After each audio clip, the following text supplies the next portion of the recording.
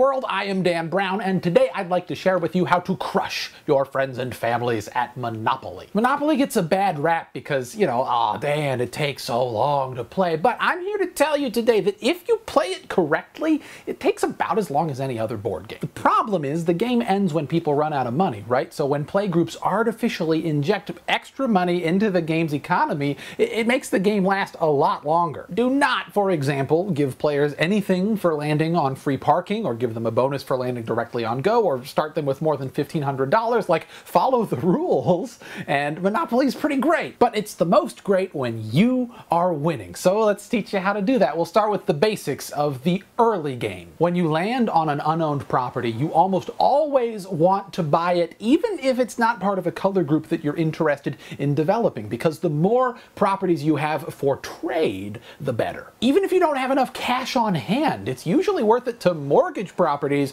to buy other properties because later in the game, your opponents will pay a high premium for properties that are part of a color group they're gunning for. Also, in the early game when everyone's racing to gobble up properties, blah, blah, blah.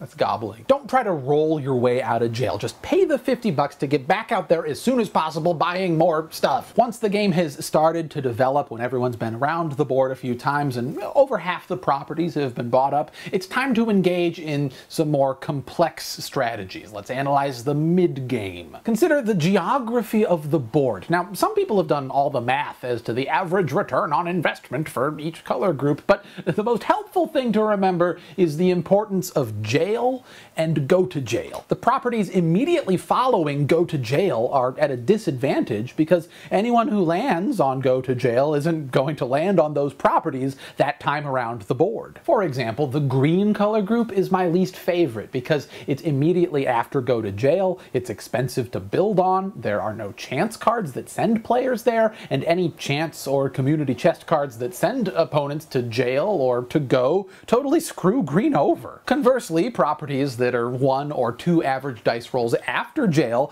are at an advantage because players spend a disproportionate amount of the game in that region of the board. The oranges, for example, are my favorite color group because they're cheap to build on and have tons of opportunities to catch players as they leave jail. There's almost a 40% chance that a player's first roll out of jail will land them on an orange property. The reds and yellows are pretty good too because only this chance space can cause cause players to jump to other parts of the board on their, you know, typically second, third, and fourth rolls out of jail. Specifically, chance cards can move you to go, to Reading Railroad, to the nearest railroad, to the nearest utility, to jail, back three spaces, to St. Charles Place, to Illinois Avenue, or to Boardwalk. And it's those last three that are the most important. Pay attention through the early and mid game as to which of these three chance cards have already been drawn because if you know which are still due to be drawn, you can trade accordingly. For example, Boardwalk is the most feared property in Monopoly, but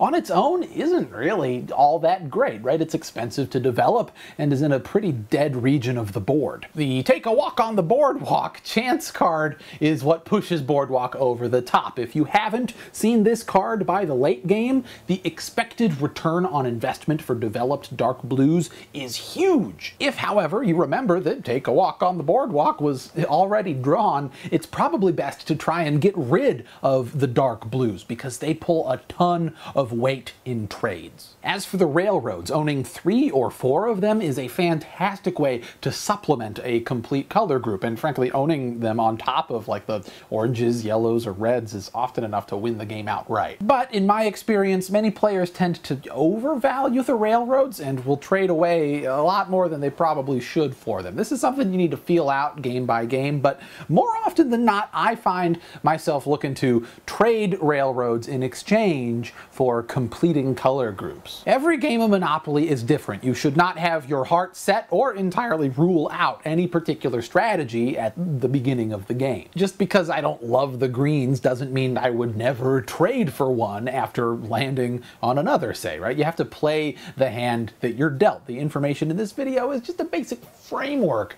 for playing well. Once everyone has been trading for a few laps and multiple players have complete color groups, it's time to start thinking about late game strategies, namely when and how much should you develop your completed color groups. The most important thing to remember here is that the first big jump in rent for any property happens between two and three houses. Three is the magic number where big things start happening. If you feel like you're winning, or at least have enough assets on hand to absorb a big blow without having to sell off houses, go ahead and build up to three houses when an opponent is approaching one of your color groups. I like to wait until the last possible moment to develop my properties for two reasons. One, if my opponents don't see houses on the board, it's easier for them to forget that there could very quickly be houses on the board and they might overextend themselves. And two, it means that I have cash on hand for as long as possible in case there's some unexpected expense